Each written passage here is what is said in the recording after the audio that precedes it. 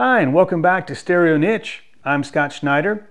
This week, we're going to review the SDA2 from Polk Audio. Let's get going.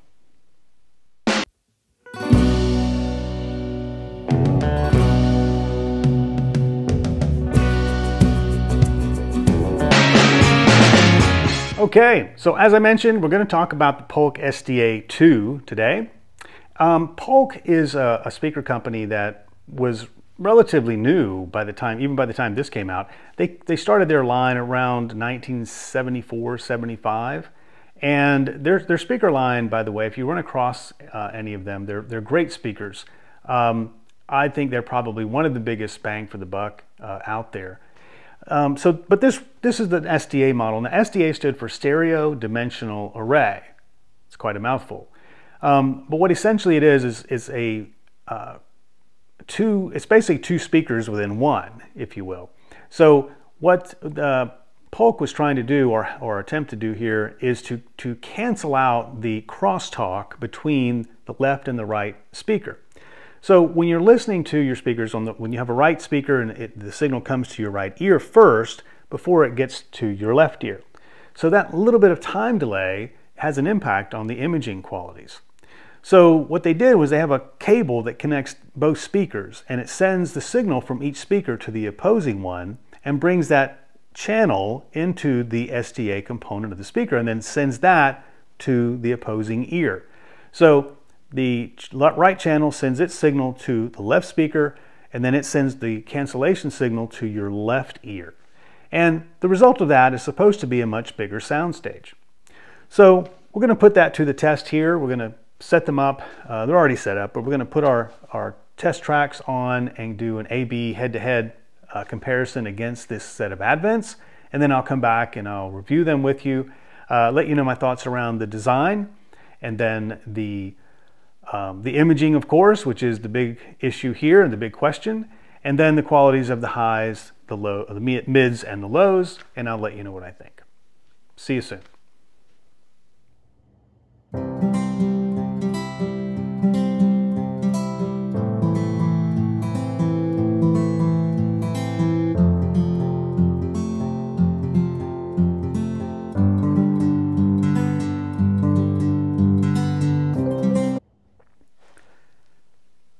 Okay, the review is done. The voting has completed, and I have tallied the scores. So let's just jump right into it. Well, we're going to start off with the style and um, I don't have much to say. Uh, it's, a, it's a big, boring box, you know. Uh, there's not a whole lot to say about styling because they didn't put a lot of thought into it if it's anything, it's bland, I guess, is about the only thing I can say about them. And maybe that was a, a selling point back then. Maybe that's when speakers decided not to be uh, something you saw in the room and uh, they meant to hide, try and hide them as, as big as they are.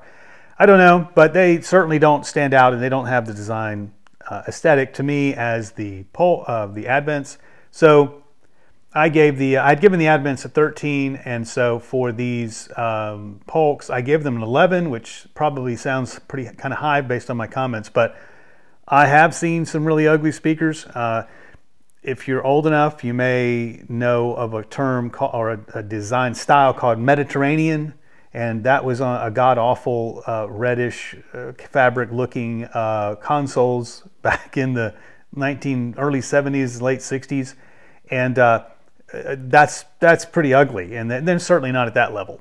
Um, so I give them an 11, and um, nothing else to say, I guess. So on to the uh, the sound quality as far as imaging, which was the big deal. Uh, imaging was everything that was marketed. That's what SDA is about. So was it hype or was it marketing?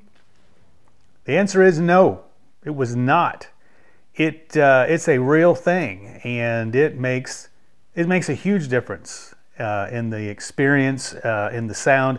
Everything is better, honestly. I, I, just put it that way. Everything about listening to these speakers is better because of the SDA. When you have a good speaker like the Advent, and the soundstage is fairly decent. You know, it's not it's not small, it's not you know um, non-existent. It's there. It's it's pleasant. And then you switch it over to something like these Polks, and it just just goes like this. Um, it's it's just sort of uh, surrounds you in a way, and when that happens, it's just more exciting. And I'm going to use this word exciting probably every other word. It's uh, it, it livens up everything about the sound. Now, some people may not, you know, may not like that quality. I, honestly, I don't know of anyone that has ever told me that it has too big of a soundstage. I don't know that I've ever heard anyone. I've I've heard the opposite, but I've never heard anyone complain that the soundstage was too big. So with that aspect, it's um, it's pretty hard to rate anything else uh, in a bad way uh, because unless it was somewhere deficient somewhere, but that is a quality that really makes them stand out. So for the imaging, I had given the Advents a 15, and for the Polks, I gave them an 18. Now I've just raved about them, and so why didn't I give them a 20? But uh, I have um, heard some speakers, some electrostats uh, that, and if you haven't heard an electrostat, it's quite a different experience as well. And they do it differently, and it does a, a, a job on imaging that it, I don't know that is um, uh, can be paralleled with really many other other speakers, but these do come very close. So the 18 is, uh, I think, um, where they is is the best uh, rating for them. On to the lows. The lows were very good. I, I wrote they were deep and pronounced, but again, because of the SDA, they were not um, sort of uh, directional in a way. The Advents are good, and I, I like the, the low end of the Advents, but the, the, the low end is sort of pinpointed into the center and it, it's sort of um, you, you, sort of feel like it's just right there in front of you, which is which is okay. It's it's nothing you know. It's not uh, a bad experience, and it it's not annoying or anything. But when you switch over to the SDA and the bass is sort of around and you can't quite pinpoint it, it just feels better. It just feels like that's more right in a way. Now, some people will say that uh, uh, low end is non-directional, but if that were true, then they wouldn't put start putting uh, subs on both sides of the room. And uh, most of really high-end systems have, if you're going to have a sub, will actually have two, um, one on each side of the room. So either way, wherever your your preference is, uh, if you're not going to have a sub with these, uh, which I don't tend to need subs, but um, the experience for me was much better. So on scoring wise, I had given the Advents a 14, and for these, uh, the Polk SDAs, I give them a 16. Now moving on to the mids, which is to me, as far as which area I am most concerned about, it is the mids.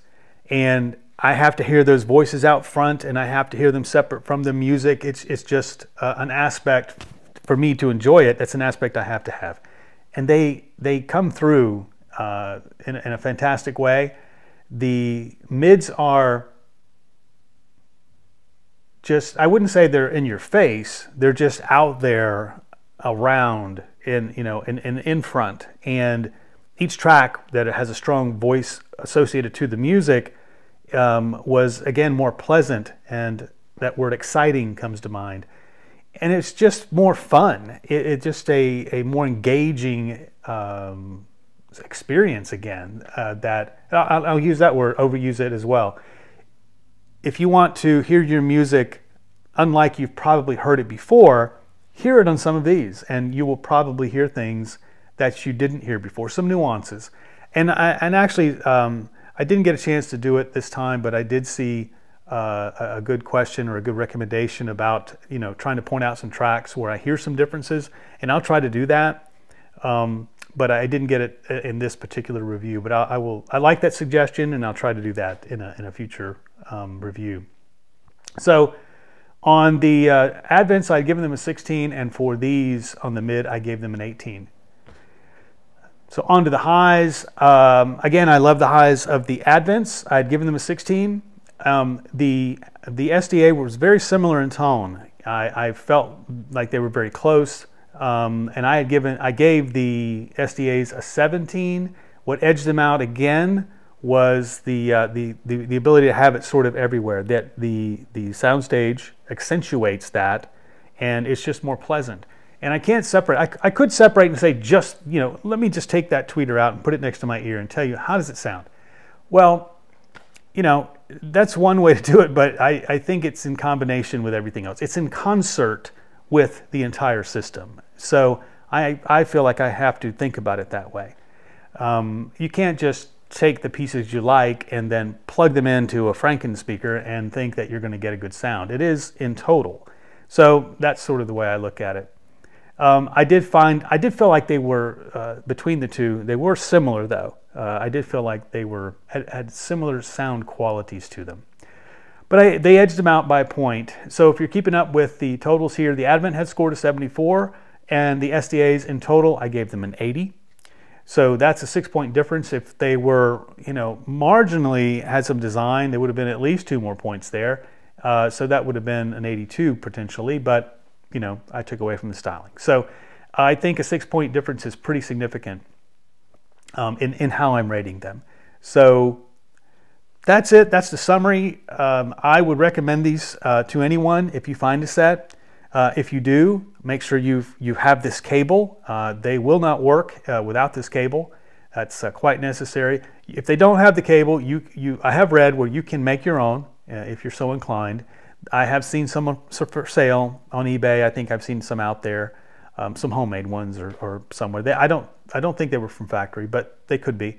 This particular set seems to have a, a slightly different connector, a round connector versus most of them have a, some kind of two-prong connector um, which I couldn't find one. I, I, was curious if I could find a spare, and I could not find one. So uh, that's my, I don't know how rare that is, but I, at least when I did a search some months ago, I could not find one.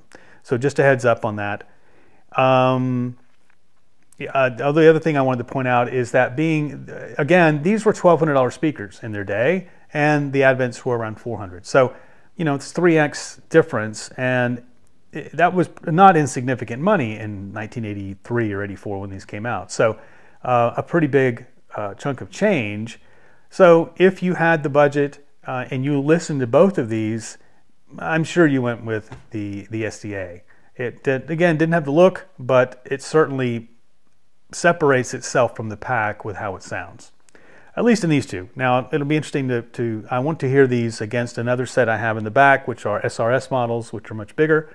Um, they have some condition issues I'm still working on, but uh, but these sure excel. Now I pointed out in, in, in, an earlier comment that the other SD, uh, the other Polk models, other Polks, Polk sevens, Polk tens, they're great speakers and they sound really good.